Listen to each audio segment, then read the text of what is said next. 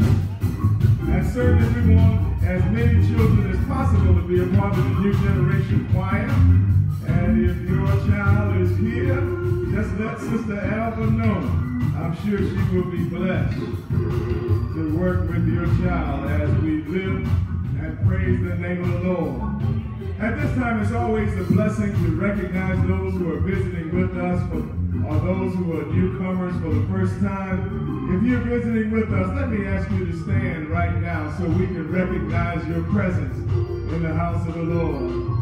Amen. Amen. Amen. I want to remain standing for a second, and I'm going to ask our members who are near you, we're going to take 60 seconds. Now go ahead and greet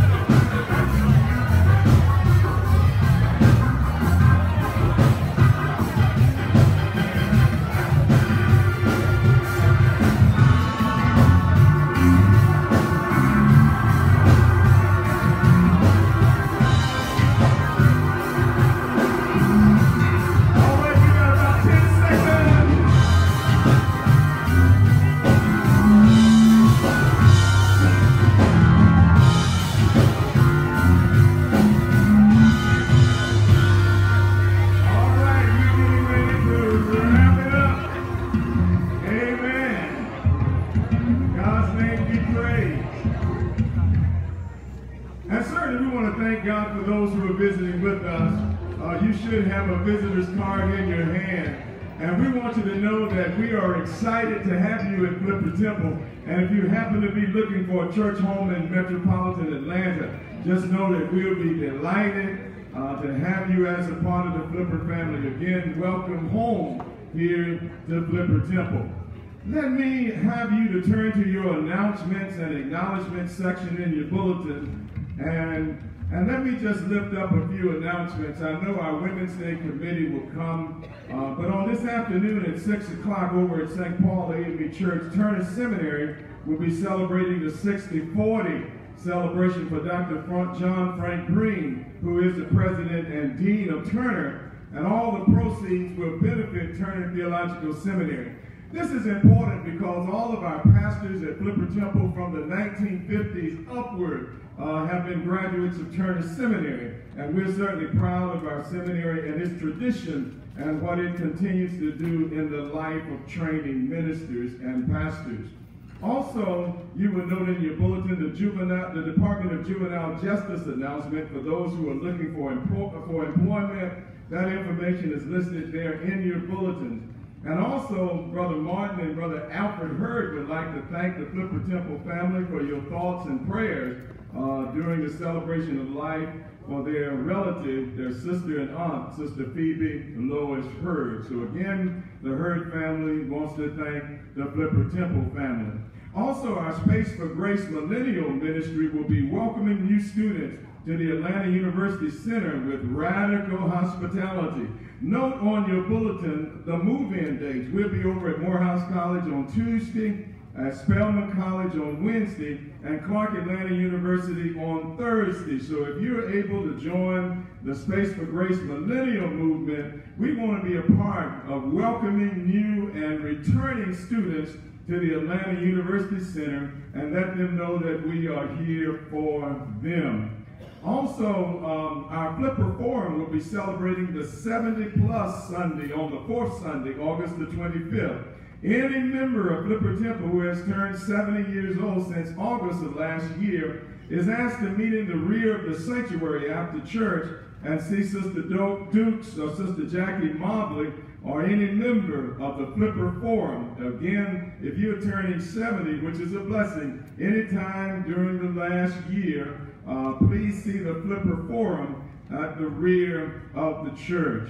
We also want to pray uh, for those families who are victims of the shootings in El Paso and Dayton. We certainly want to keep them lifted in our prayers. And we also want to remember those names on the sick and shut-in list. And we want to add to that Sister Diane Burton, who had surgery on Monday, Brother Lehman Waters, uh, who came out of the hospital on yesterday, and every name that is listed on our sick and shut-in list. Let us also pray for bereaved families of Sister Rosalind Greer, relative of Sister Shirley Shivers, whose life was celebrated on Friday at Murray Brothers Funeral Home here in Atlanta. Sister Greer was a former member of Flipper Temple AME Church. Also, Brother Nathaniel West, a former officer and member of Flipper Temple's life, was celebrated on yesterday at Antioch AME Church, and we certainly want to keep him lifted in our prayers. We also pray for the family of Dr. McDonald Williams, the husband of Dr. Jamie Coleman Williams, retired general officer. Uh, we certainly want to keep the Williams family lifted in our prayers. And I have a wonderful card here coming from our own Reverend Dr. Vanessa uh, Trice Wallace. It says, Bless you for the little things you do in thoughtful ways. Bless you for the, for, for the brightening up so many days. And uh, she wants to say to the Flipper Temple family, thank you, and may the Lord continue to bless each of you. She is now back in Jacksonville, Florida with her family, but she is here with us today. What I want you to do is continue to pray for Reverend Dr. Wallace, who will be transitioning uh, to Jacksonville, Florida. And aren't we happy to have her with us today? Aren't we happy to have her with us today? And after worship, I want you just to greet her and encourage her because we know God has a plan for her life, and it is a plan for her good and not of evil to give her a future that is filled with hope. We're excited about Women's Day 2019. Come on, Sister Gloria Matthews and, and uh, all right, okay. Amen. Sister Alexandra is today. Okay, Sister Alexandra Dansby. Amen. Let's give her a hand. One of our chairpersons for Women's Day 2019, along with Sister Gloria Matthews and Sister Elizabeth Owls and Sister Ari Johnson. Amen. I'm have my me. Sister Isles, come join us, please. Good morning, Flipper Temple. Good morning. I said good morning. Good morning. Amen. If I could please just do something a little different, I want to shake it up. Um, if I could just have the women of Flipper Temple please stand.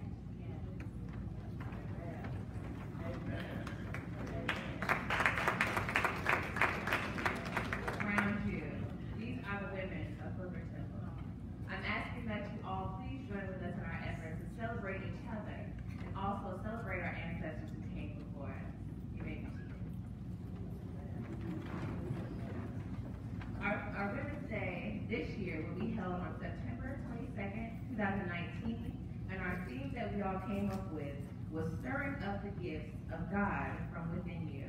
That's coming from Second Timothy, chapter one, verses five through seven, and skipping to nine through eleven.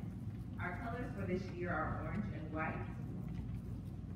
So we are asking that you all, especially the women, please use your time and talent. We have many things you can use assistance with. So our next planning meeting will be August thirteenth, which will be this Tuesday at six P M. Also our director, Sister Henrietta, has given us a schedule for the Women's Day Choir. The uh, choir practices will start next Tuesday, not this Tuesday. Will start next Tuesday, August twentieth, at seven P M. We do have some fundraising opportunities, so we ask for your assistance in these efforts. First, we have our patrons and ads. Again, the full page is hundred dollars, half a page is fifty, and to have your name is five dollars. Someone will be downstairs to collect that if you're interested. We also have our um, Applebee's Flapjack fundraiser. It's only seven dollars and you get a full breakfast. It will be Saturday, August twenty-fourth, from eight to ten AM. Last, we have our dinners that Sister Ernestine put together for us, big success. So we ask that you, um, pre-order by August eighteenth, and the dinners are ten dollars, and the desserts are two dollars. You can see your ushers, you can see any of these lovely co-chairs, and get you a pre-order paper. Lastly, remember that assessments are three hundred dollars. I understand everybody may not be financially able. You're looking at two college students. So we understand. So please give what you can, but if you are able, assessments are three hundred dollars. Again, we thank you, Flipper Temple, and especially the women of Flipper Temple. We look forward to seeing you on September twenty-second for this Women's Day. All right, come on and give our Women's Day chairpersons a hand. And we certainly are excited about Women's Day 2019, and we look forward to the continuing celebration of this wonderful event. It is my great pleasure now to present to those who are here our preacher for the morning, who is Brother St. George Andrew Pink. He is an executive assistant here at Flipper Temple to the pastor, and he is a recent graduate, 2019 graduate of Clark Atlanta University. Can we give God praise for that? Amen. And in the fall, we are possibly planning and praying for his ordination uh, as an itinerant deacon in the AME Church in the West Coast, Florida annual conference of the 11th Episcopal District. Are you ready to be blessed by the word? Are you ready to be blessed by the word? Brother Andrew has a major word for us this morning after the singing of the J.C. Williams Chancel Choir we will hear Brother Andrew Pink, our preacher for the day.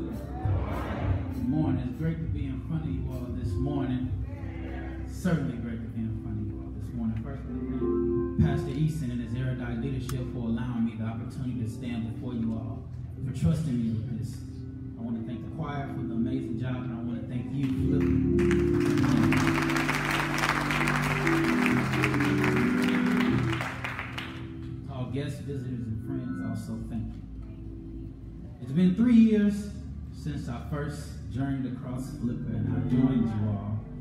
And I've been serving here. And after my recent graduation, it left me with a few decisions to make as far as educationally and career-wise. My mother has a bachelor's degree from Morris Brown, my father is a Jamaican immigrant with a high school education who moved here when he was younger than I am now. And he now has four children, three of which are college graduates of American University.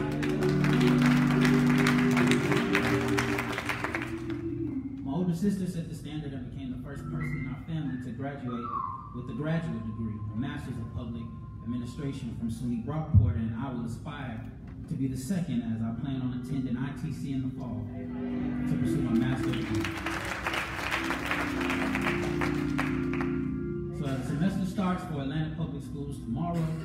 Then with colleges and universities following a week or so thereafter, let's keep our students, teachers lifted in prayer as they embark on another roller coaster ride it is that we call the school year. Let us pray. Dear most gracious and eternal, all-loving God, we come to you now simply saying thank you. Thank you for all that you do. Thank you for all that you've done and all that you will do. We apologize. We've asked you for more than we thank. Thank you for allowing me to take the pulpit and speak your word. I ask that you remove me and insert you. Control X, Andrew. Control C, you. Let the words of my mouth and the meditation of my heart be acceptable in your sight. Let them hear all of you and none of me. This and many more blessings ask in your Son, Jesus the Christ, mighty, matchless, and magnanimous name it is that we pray. And the believers will say, Amen.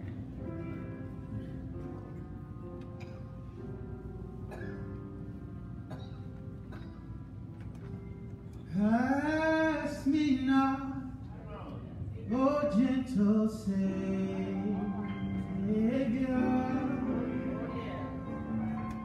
Hear my humble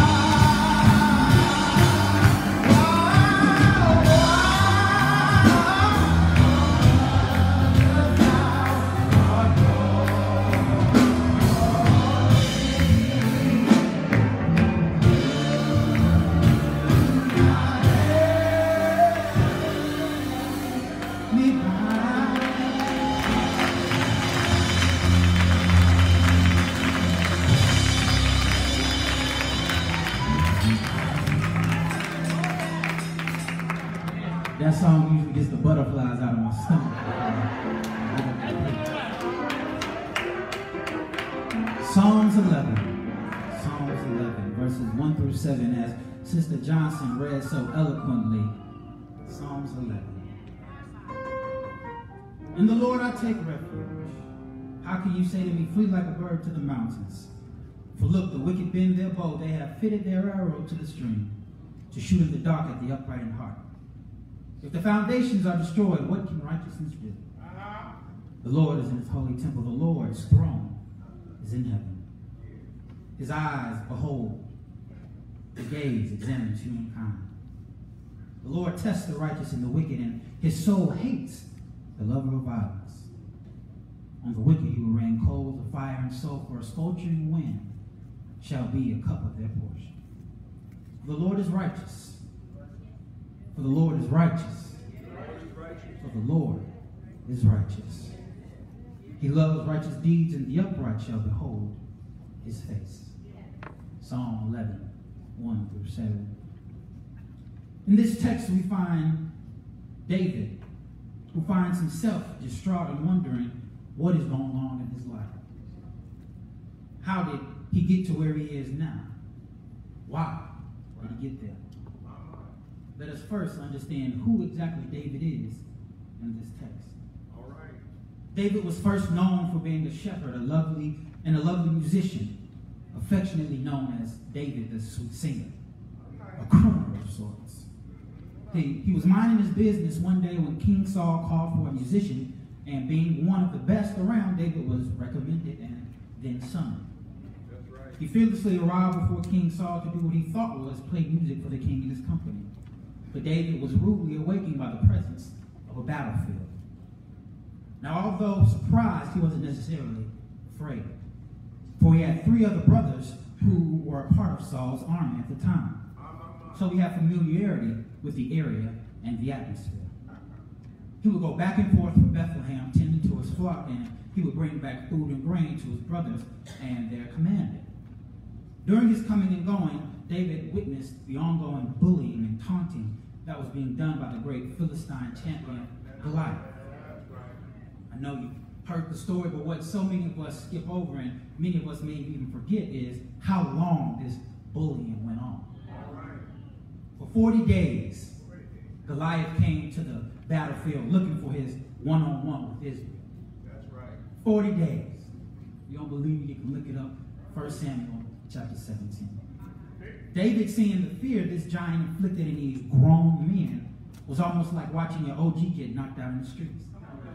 So, like any kid would do, David started capping off at the mouth, talking trash. What shall be done to this man who kills the Philistine and takes away the reproach from Israel? Who is this uncircumcised Philistine that he should defy the armies of the living God? In layman's terms, how much are they paying to kill this? That big, greasy, macho man, bodybuilder looking guy. how does he believe that he's going to beat God's army? And why are you shrimps scared? Like the Du Bois or Aaron boys, as you may call them, they were they the army could take this taunting from the bully, but not from this little kid. So they ratted out David to Saul. And there King Saul, who had no idea who he was really talking to, asked David to repeat those same sentiments. And I could just see David saying, Look, boss, you know, I know you king and all, but your soldiers out there are really scared and it's kind of embarrassed. So he accepts the challenge to take on Goliath. In the back of his mind, he was probably thinking, if I lose, that's what they expect doing. But if I win, if I win, Going up tonight. So he made up his mind to come out with the victory. He then, as you know the story, took that slingshot of those couple of rocks in a perfect position, struck down the champion without exhausting a drop of sweat. At this moment, David certified himself as a shooter, or as you may call a gangster. David then becomes a fierce warrior to Saul's army, and eventually the king sees who his clear successor will be. David begins to get praise and recognition for his earned accolades, and Saul just starts hating. For no good reason, just hating. Anybody here got some haters? Haters. He also becomes paranoid that David wanted his throne. So one day while David was playing the harp for the king, his plan was so skilled and effortless that it probably struck Saul with such envy and paranoia that he literally hurled a spear at David to kill him. David, just imagine was playing that spear dodged that spear and just, you know, played another melody or two before he decided to, to flee to the city of Gath. There, this, there David established his own hood, if you will. He was safe now and living humbly, no longer in the palace amongst royalty. However, his presence was still rich and powerful.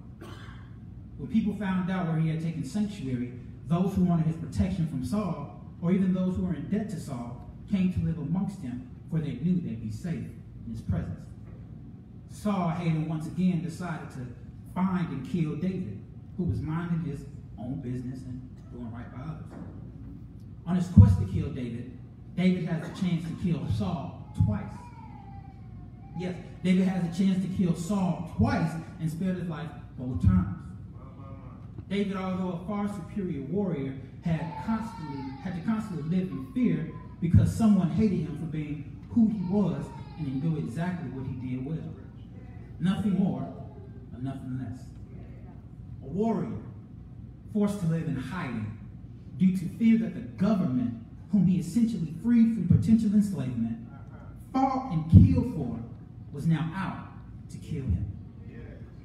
So that places us right here at the beginning of Psalm 11. As David prayerfully places pen to parchment paper to pontificate this particular pericope, we see that, yeah, you see, my the speech class has paid off today. Yeah. You see, he converses with God about why he's taking this place. In the Lord I take refuge. How can you say to me, flee like a bird to the mountains? For look, the wicked bend their bow, and they have fitted the arrow to the string to shoot at the dark, the upright in heart.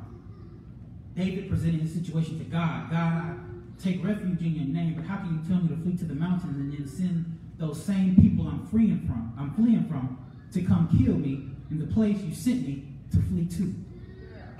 He was obviously confused, as I'm sure many of us would have been too.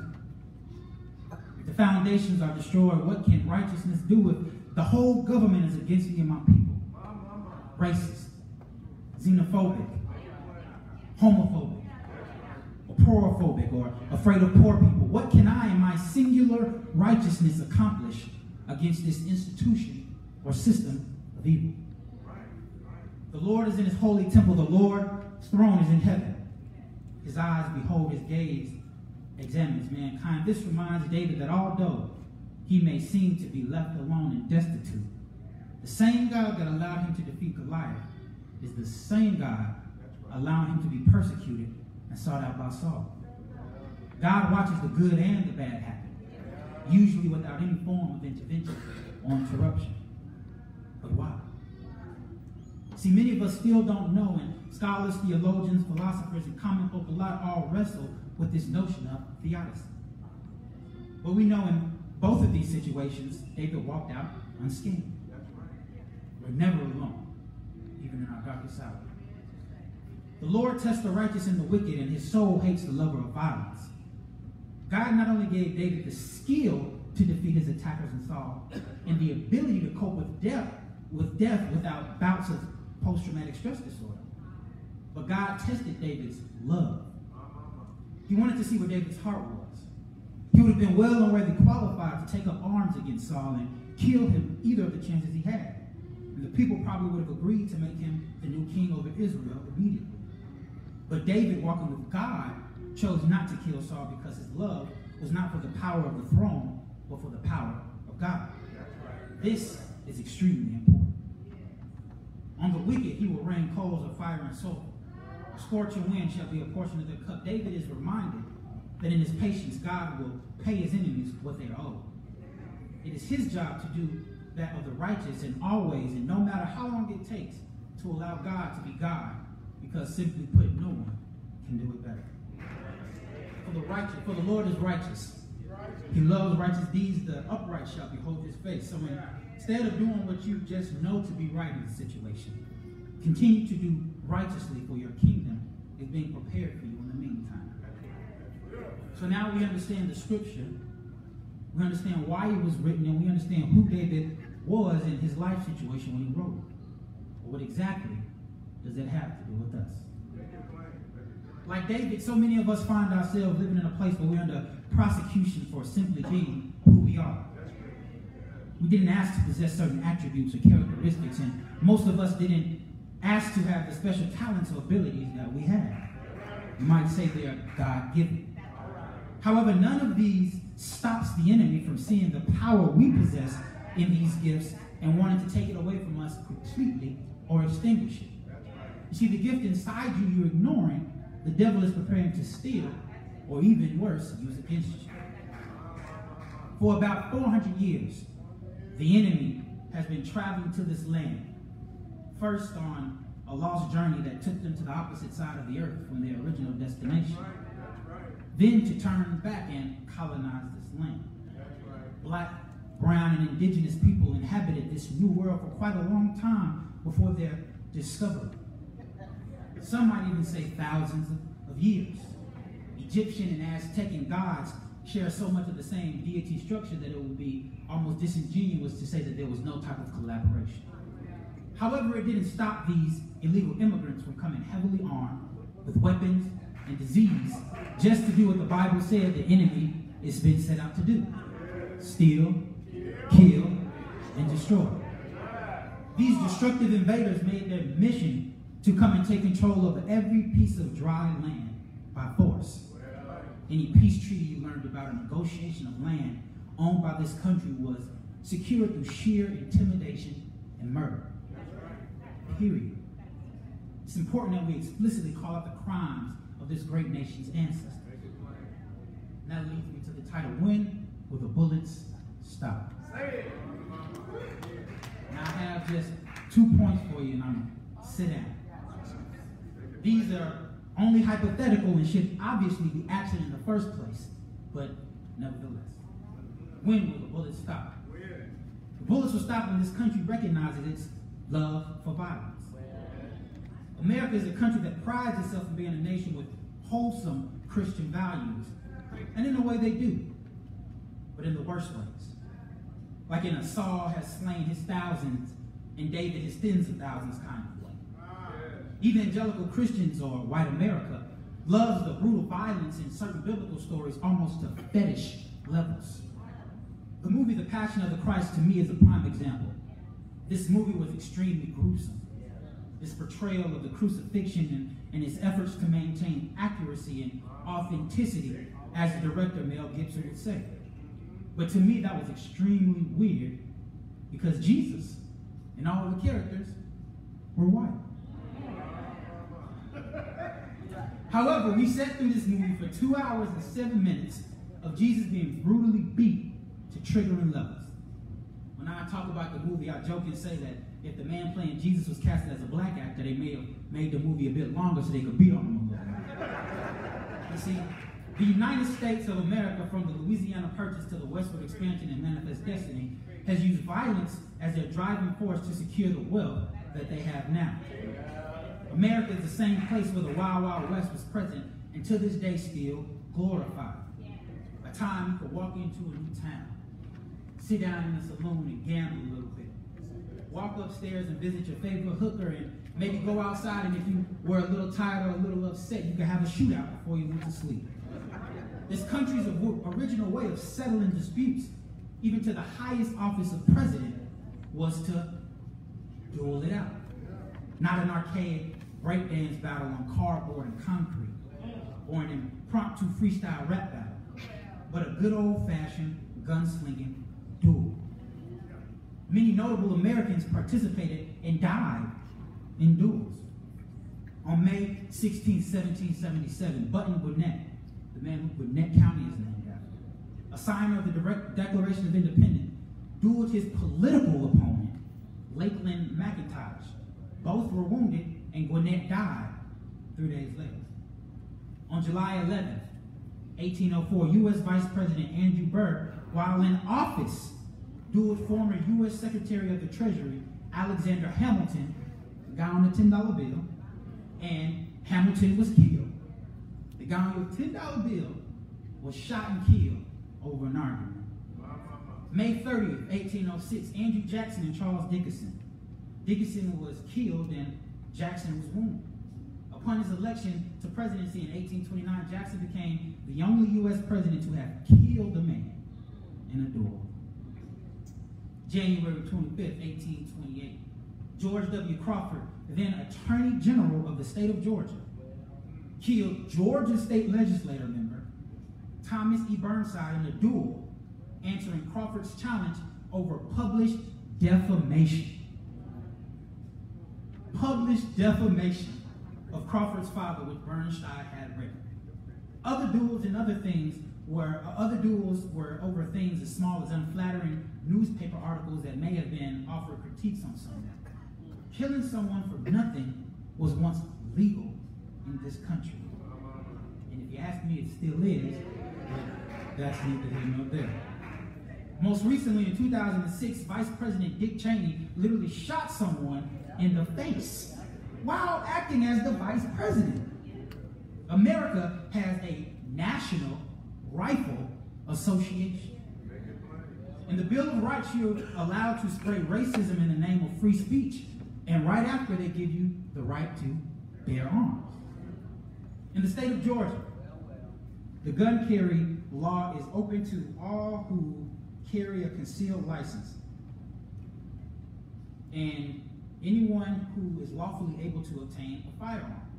So the way it works is if you have a gun license, you can openly carry your firearm in the state of Georgia, wherever you choose. Walmart, gas station, anywhere but a federal building, a church, and schools. You can take your gun on your hip like a police officer and walk, do what you feel. But the other thing is if you don't have a license and you're a 21 year old without a felony, you're able to buy a gun and put it in your pocket so that nobody can see it. Walk around with it as much as you please.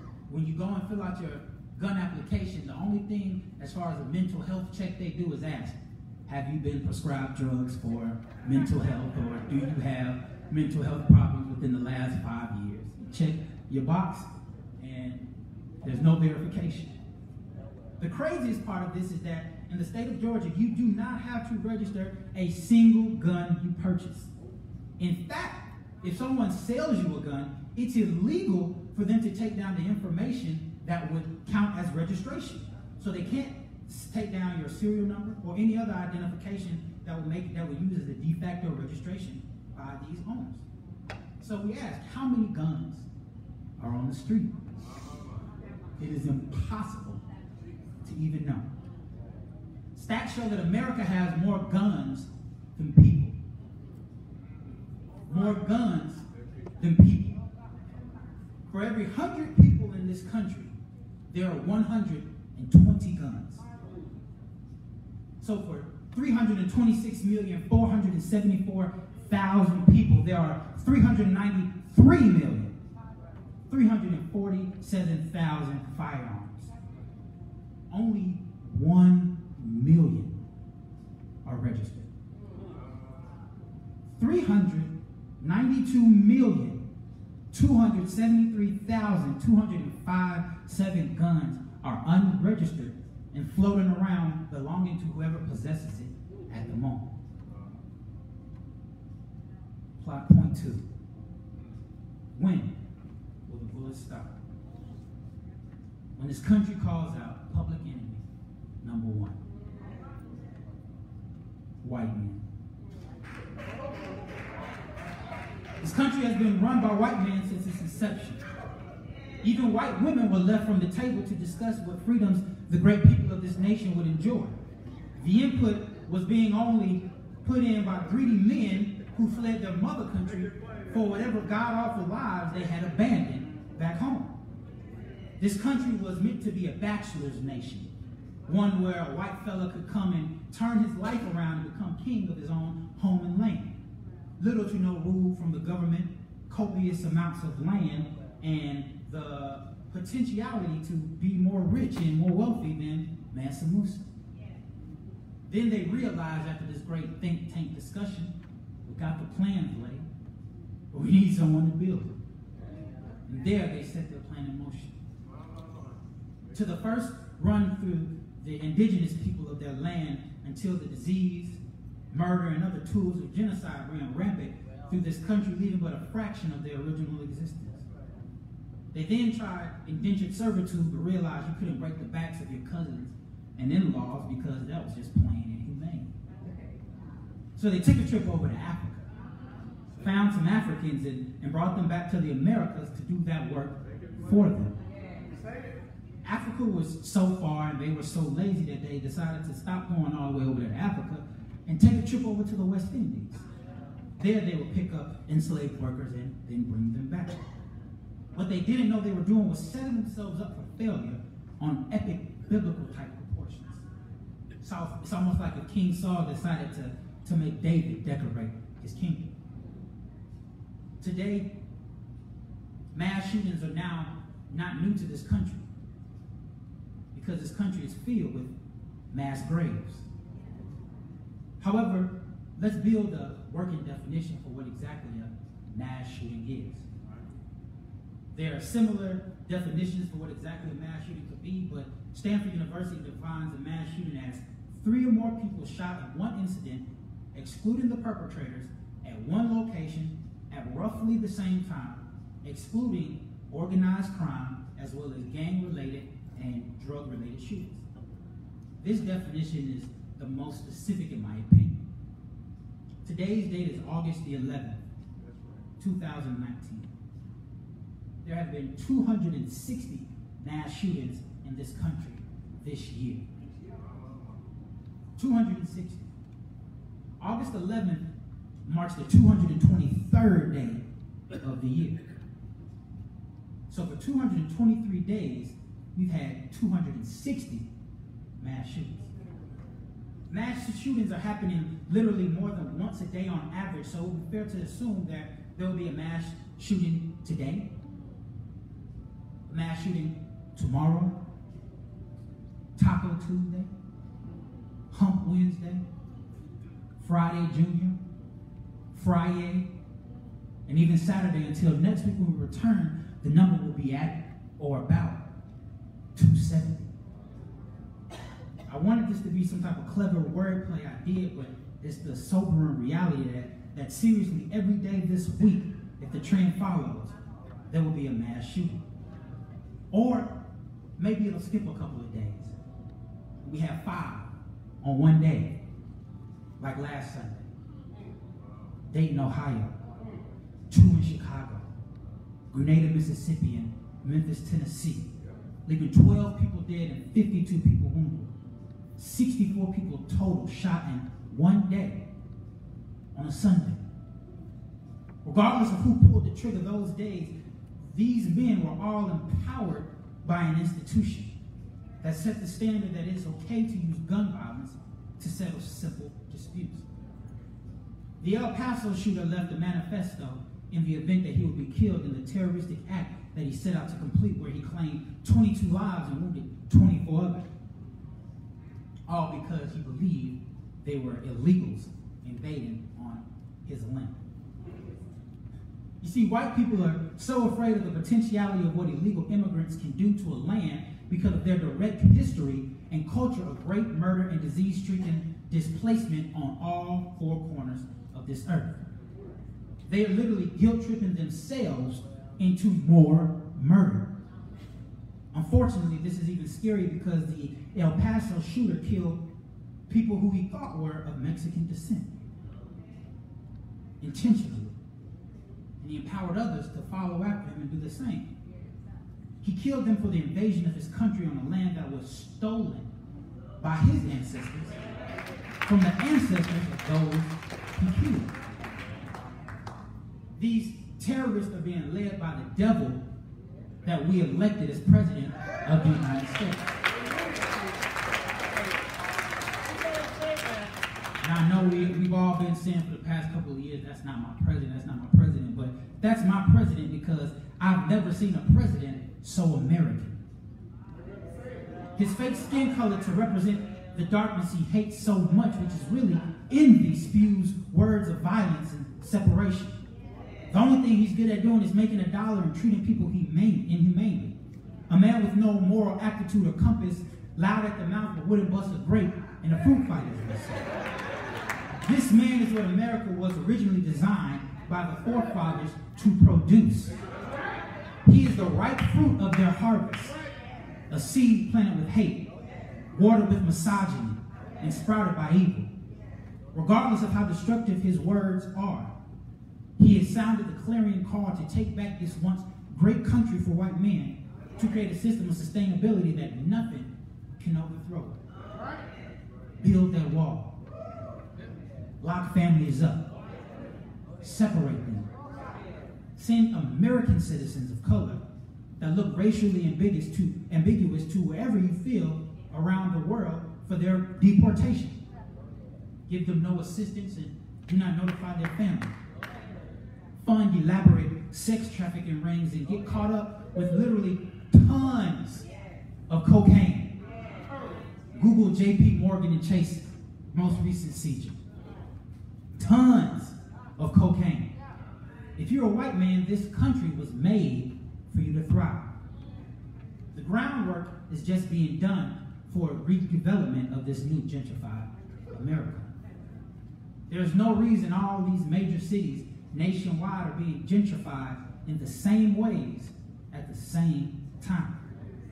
It's almost like there was a big meeting that happened and, and, and now they're doing something about it.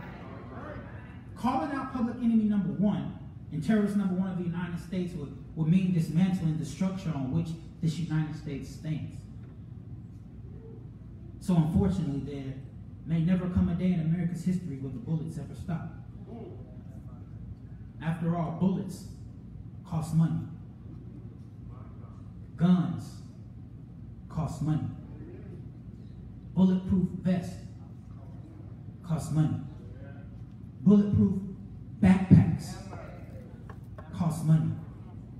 Surgery costs money. Flowers, caskets, limos, suits, dresses, repasses, all cost money. America is a great capitalism, and we must always remember the golden rule. He who has the gold makes the rules. So, like David, I, I pray to God, and the Lord I take refuge. How can you say to me, go to school and get an education? Or Walmart, the grocery shop? Church, to praise your name. For look, the wicked load their rifles. They have fitted their targets to shoot in the dark at the upright in heart. If the foundations are destroyed, what can righteousness do? The Lord is in his holy temple. The Lord's throne is in heaven. His eyes behold and look down on us. The Lord tests the righteous and the wicked, and his soul hates the lover of violence. On the wicked he will rain coals of fire and sulfur. A scorching wind shall be a portion of their cup. For the Lord is righteous. He loves righteous deeds. The upright shall behold his face. I know that you've equipped me overcome the enemy if I decide to, God. You've shown me the way to rule without greed and violence by following you. So as you look down on us, testing us, we pray that we don't receive our rewards in death.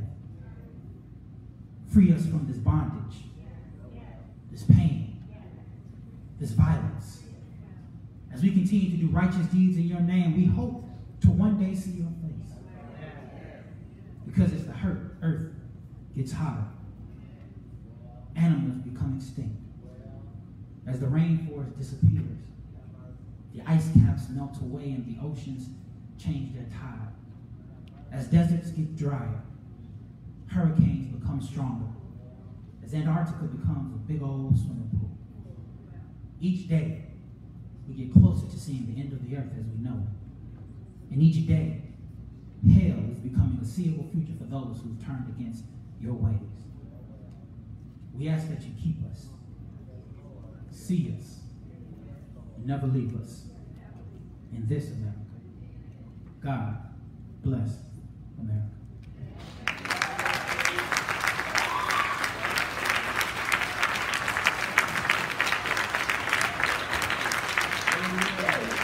Come on, let's stand all over the sanctuary and give God praise for this awesome word. When Will the bullet stop? Let me ask you to, reach, to remain standing, and I'm going to ask you to reach over and join hands with the person next to you, and just bow your heads for a moment as our musician plays softly. Beloved, we have heard a major word this morning. We have heard a word that was well prepared and well delivered. We've heard a word that appealed to our minds, our imagination, and our emotions. We've been truly blessed by the word of God, rightly divided. And let me remind you that messages are not just for our personal morality, but they are also for our public witness and public policy. And we want to thank God today that we've been challenged in both of those areas.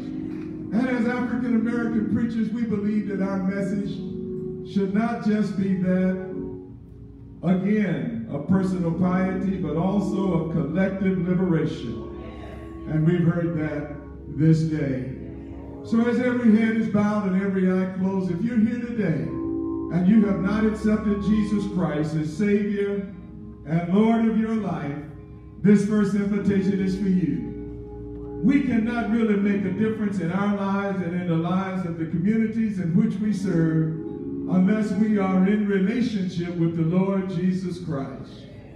So if you're here today and you're not sure that if the Lord called you home in the next moment where your eternal destiny would be, that's a sure sign that you need to be saved. So if you know you need to be saved, just squeeze your neighbor's hand a couple of times. Let them know you need to be saved. And then secondly, if you're living in the city or metropolitan Atlanta and you know you need a church home, brothers and sisters, I'll be happy to be your pastor.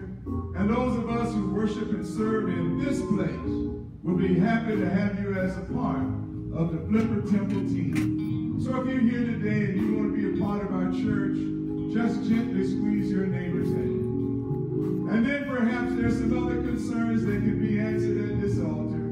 We'll be happy to pray with you and for you. And if somebody squeezes your hand, that's a sign that they want you to walk with them to the altar. You may now loose your hands and lift your heads. The stewards and stewardesses will join me here at the altar rail. The doors of the church are open. This is your time to make a decision that the Lord wants you to make for salvation, for church membership. The doors of the church are open.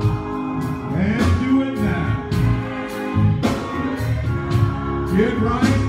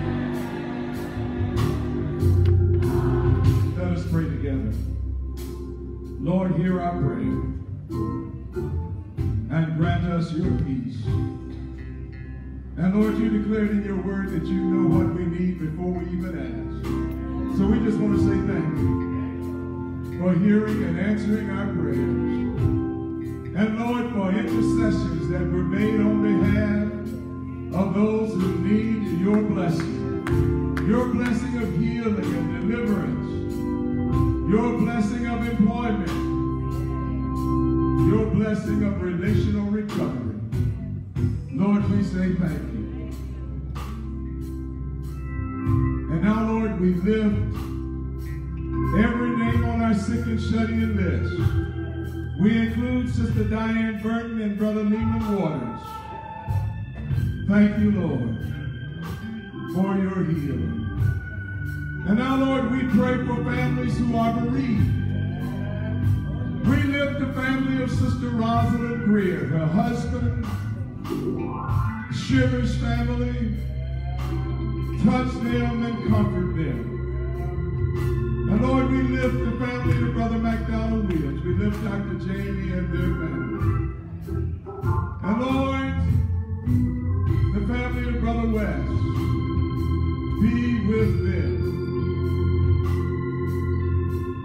And Lord, we thank you again for your servant, Brother Pink, and the message that he delivered. Be with him. Continue to strengthen him and bless him on his ministerial journey.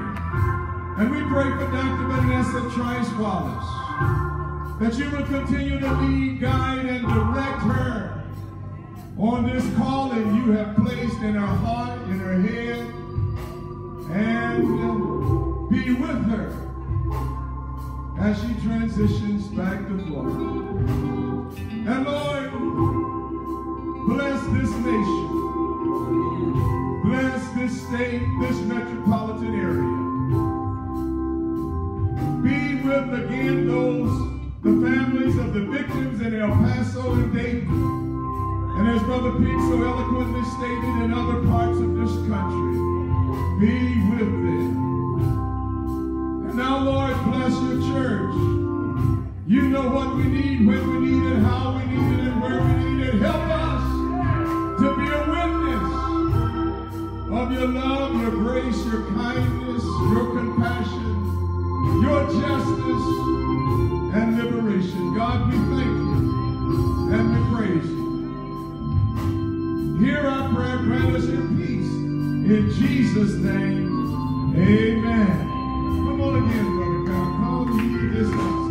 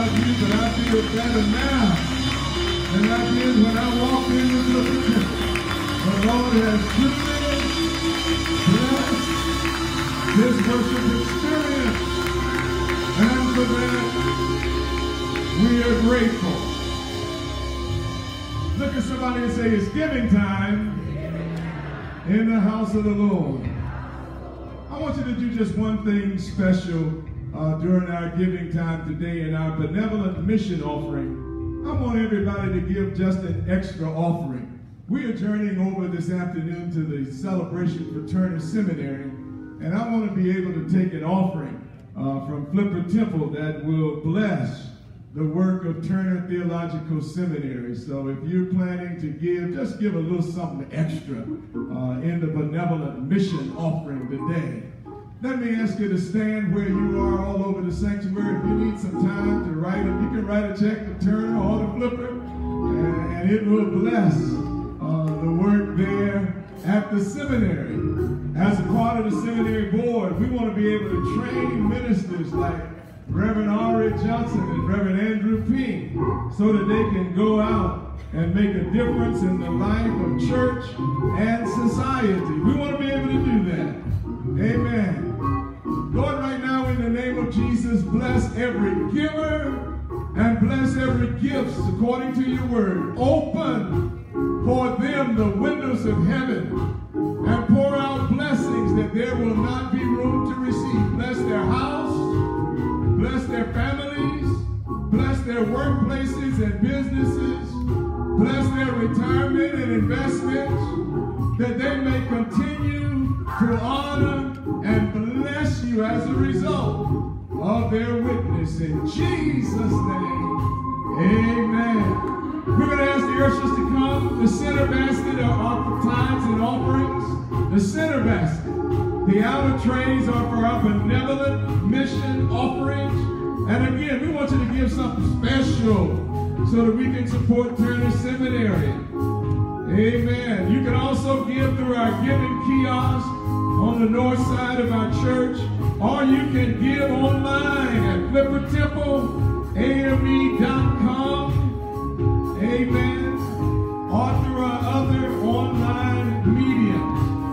God bless you as you give.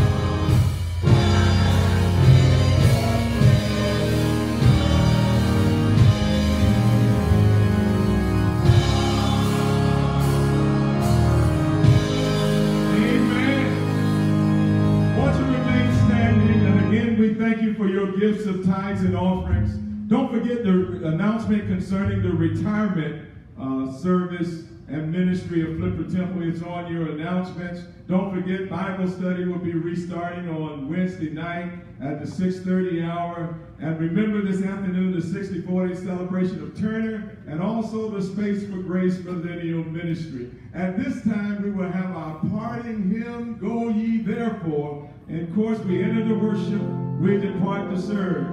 And Brother Pink will lead us the benediction. Amen.